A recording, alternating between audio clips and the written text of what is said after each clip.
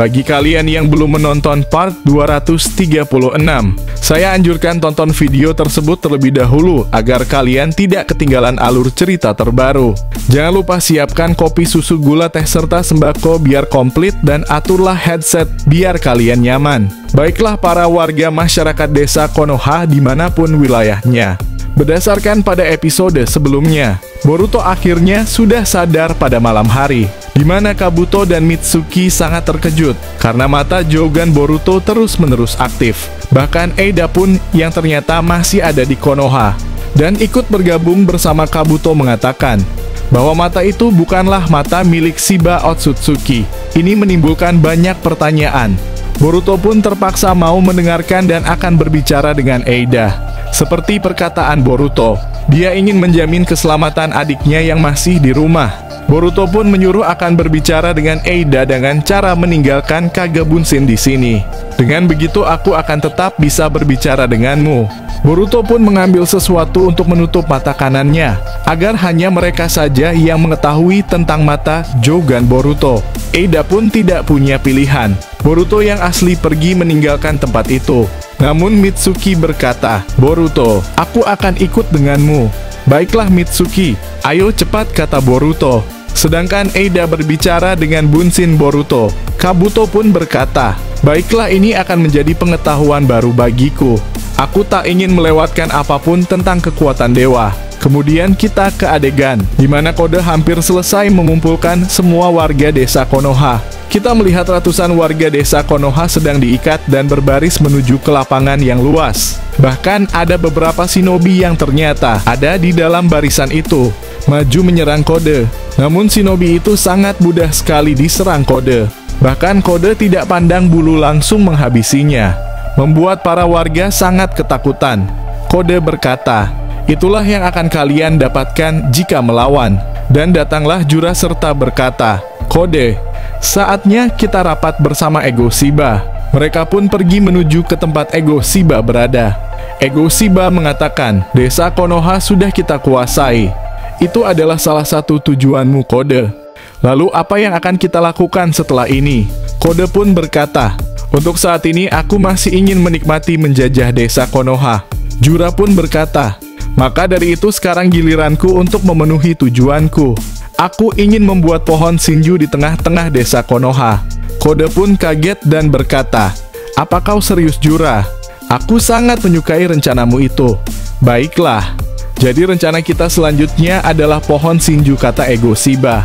Mendengar rencana mereka, kita benar-benar tidak menyangka.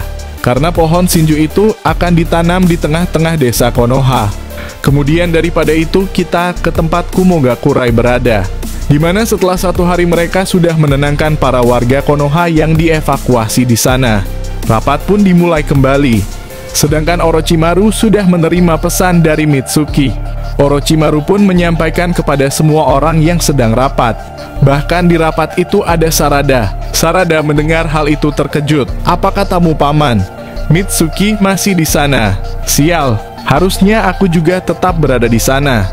Tapi aku bersyukur Boruto berhasil dia selamatkan. Setelah itu Shikamaru membicarakan tentang nasib para warga Konoha di sini. Raikage, aku minta bantuanmu agar kami bisa sedikit lebih lama di sini. Karena aku tidak bisa memastikan kapan kami akan merebut Konoha.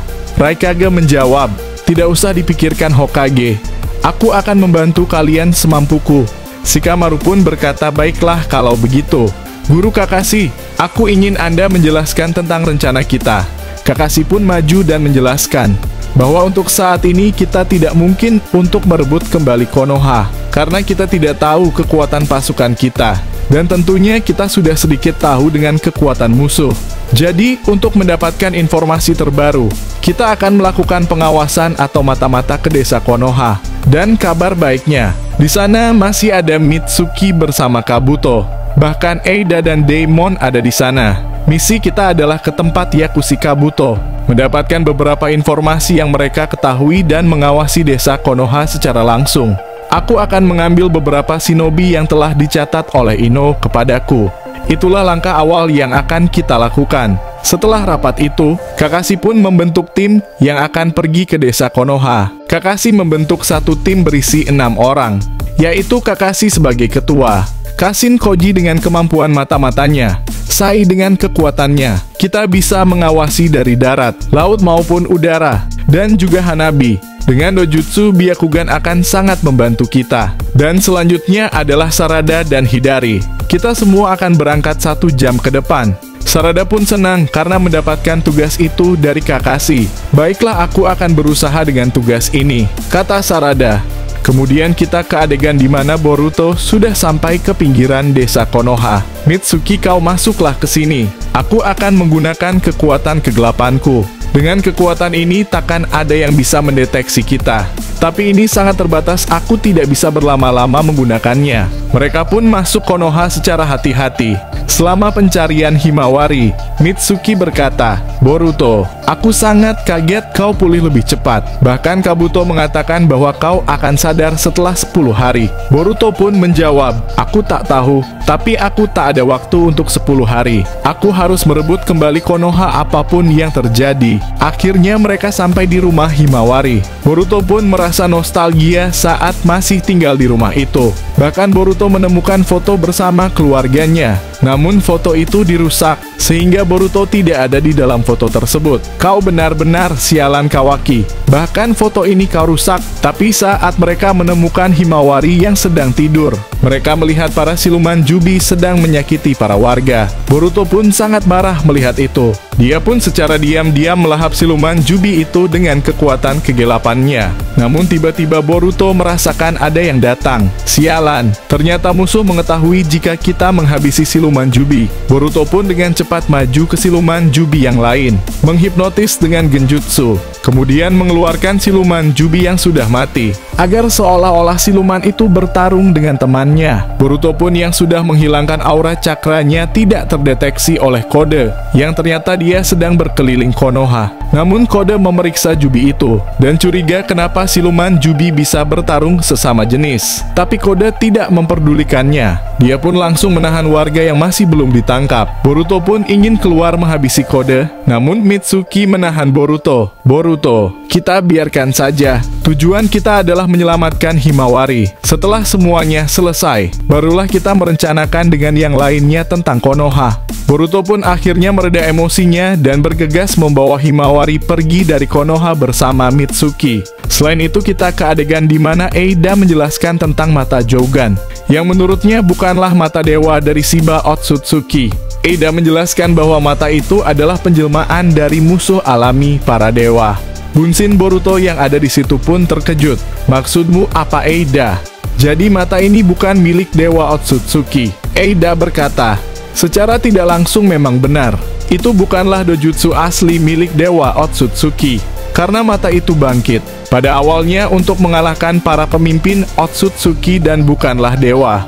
Tapi karena Shiba Otsutsuki pada awalnya tidak jahat seperti Otsutsuki lainnya. Dia dimusuhi para Otsutsuki. Dengan kejadian itu dia berkeliling alam semesta selama ribuan tahun dan mendapatkan kekuatan mata Jogan. Namun ternyata mata Jogan itu dia dapatkan dari sang dewa kematian. Boruto pun bertanya, jadi sebenarnya mata ini dari dewa kematian yang menjadi musuh alami para Otsutsuki. Ini benar-benar di luar dugaan. Aku pikir ini ada hubungannya dengan klan Uzumaki. Tapi Eida berkata, walaupun klan Uzumaki bisa memanggil dewa kematian, tapi pemilik asli mata Jogan itu adalah dewa dari dewa kematian. Boruto tidak percaya apa yang dikatakan Eida. Jadi kenapa Jogan bangkit di mataku? Dan sangat tidak masuk akal kenapa kau bisa tahu semua ini. Eida pun menjelaskan bahwa aku mengetahuinya karena aku mempunyai senringan. Dan ini adalah pengetahuan yang Amado selidiki. Tapi tentang alasan kenapa Jogan bangkit di matamu, aku tidak bisa menjelaskan. Kau harus cari sendiri jawabannya Boruto. Tiba-tiba ada seseorang yang datang dengan penuh luka berkata, Kalian harus pergi dari sini.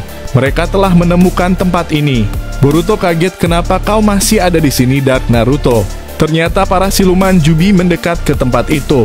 Dark Naruto berkata, Aku akan menahan mereka. Sebaiknya kalian pergi dari sini. Daemon maju ingin membantu Dark Naruto.